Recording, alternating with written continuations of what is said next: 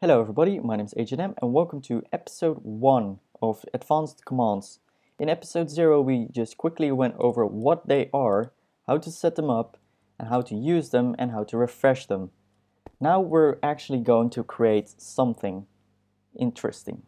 So we are exactly where we last uh, ended, so we have our tutorial and in there we have the example function. So let's actually um, rename this function and let's close out of this, rename this to, um, what's a nice maths operation? Let's see, abs. All right, we're gonna do a simple maths operation called abs, which is the absolute value of something. We're gonna call this maths real quick, so it makes sense. So we have our command maths abs. In here, we're just gonna delete all only this. So this is going to change to, to command maths abs.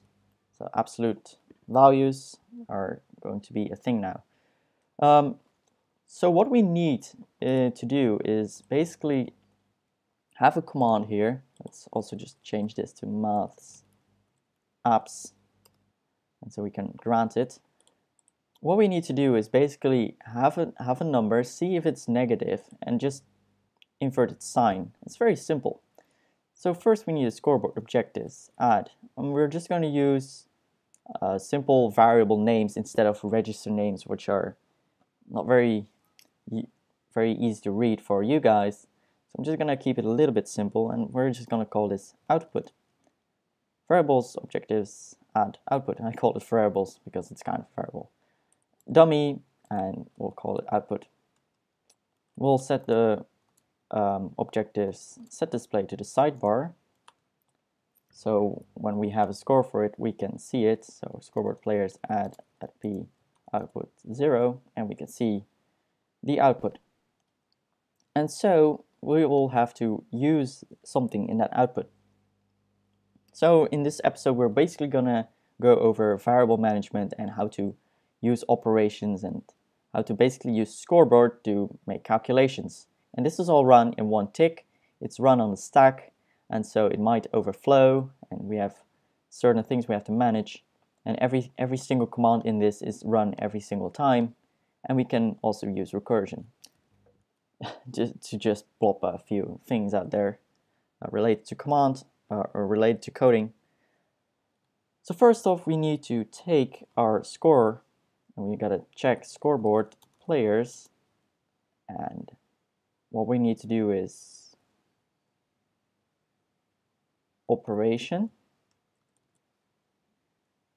at s um, output times equals and negative 1 all right at s neg 1 so we want to basically do something like this where we um, change the output by um, multiplying it by negative 1.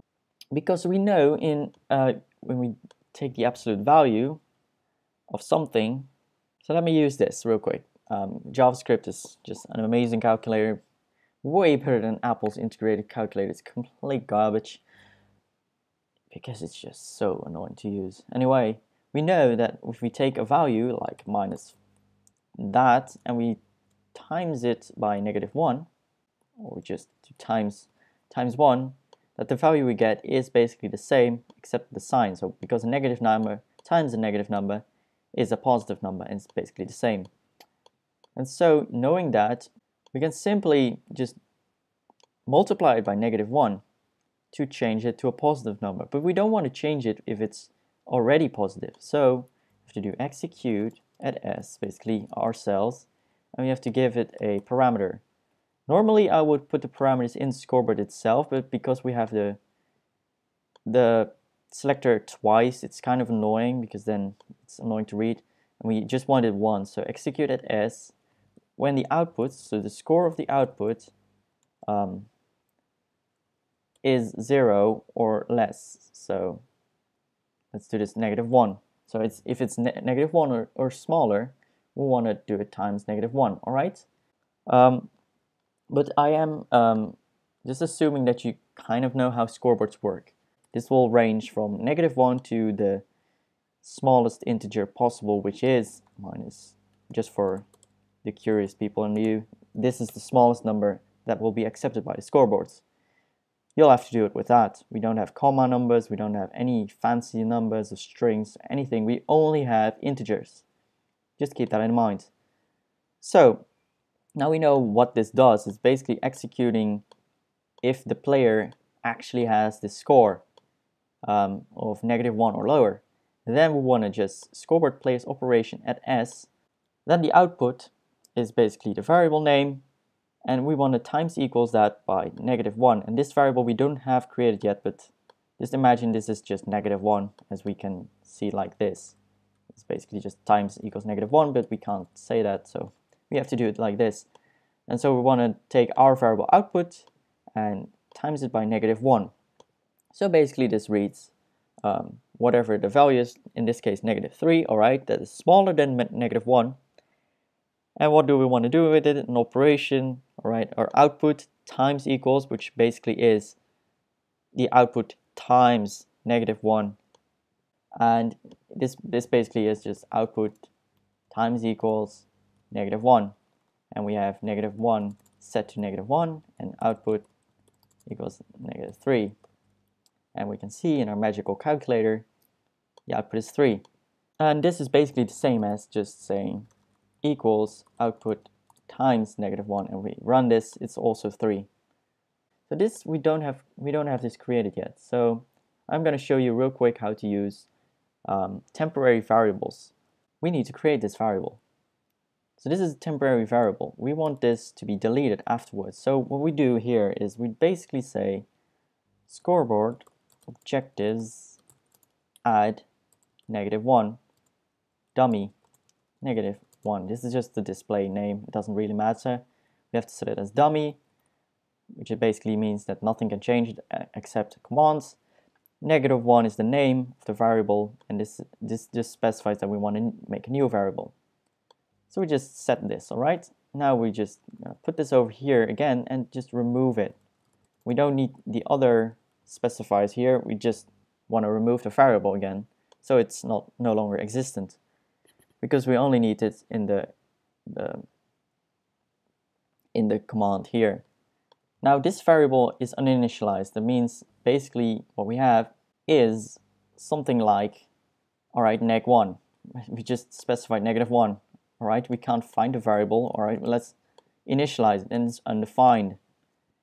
so what we want to do in the next uh, statement is just set this to negative 1. So it's actually negative 1 we can just copy that over here.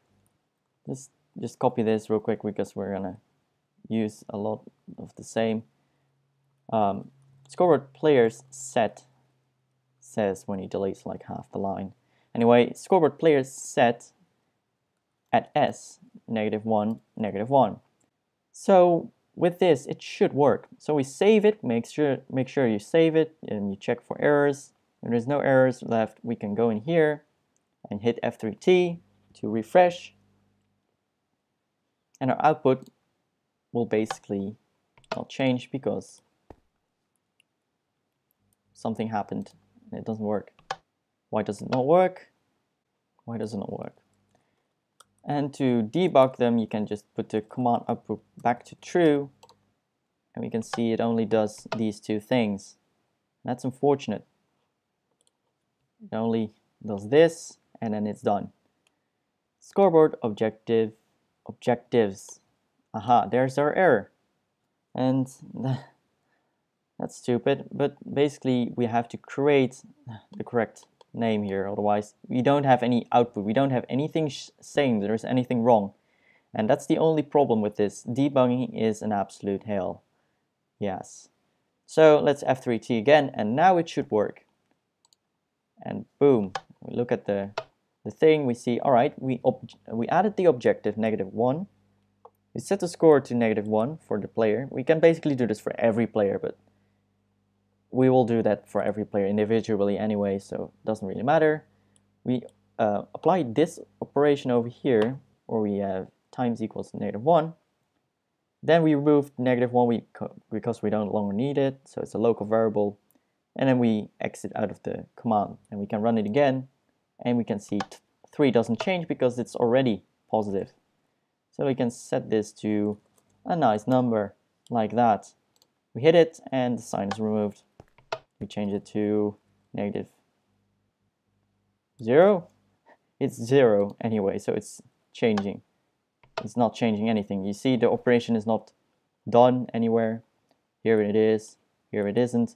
So 0 is also considered a positive number because there is no real negative 0 and positive 0 and we just do a ridiculously high number and we can see it doesn't change it. We do a ridiculously large or a ridiculously small number 2147483647 we can see it will do it correctly and if we do this it won't do anything. You, you'll think, why doesn't it change? That's because the max value is actually this. This is the max value. And basically, if we just do this, it's not a valid number. It's too big. And what it basically does, it loops back to negative. So it doesn't change it. That's the only single number that's flawed and is will just forever be negative. So that's the only thing that you have to consider. And if you want this also to work, we'll have to make a special case here that says, all right, your number is too small, we can't convert it for you or something and just error out or something. But I think this is enough for the first episode and showing how to use variables, how to local, how to use local variables, how scoreboards kind of work in this. And I hope you understand it now a little bit and how this can be compared to a language like assembly or JavaScript or whatever language you like to program in, this is basically sort of a programming language. Anyway, in the next episode we're going to go over if and else statements and after that we'll do looping, which is not real looping because it's recursion, but it can be compared with looping. Kind of difficult in this and it makes a big mess of your code. Um, so in the next episode we're going to do test cases, if and else statements. We already kind of did that with this. If this is true, then do this. But we also want else statement and all that kind of stuff. So yeah, uh, I hope you enjoyed it. And if you have any questions, just leave them in the um, description below or in the comments below. In the description, I have a few links, as always, with some more info. And also I have the basic um, skeleton, which is basically just this. You can copy it from screen right now. This will already be in the description below, so you can start off with that skeleton, and so you don't have to type it over if you're lazy like me.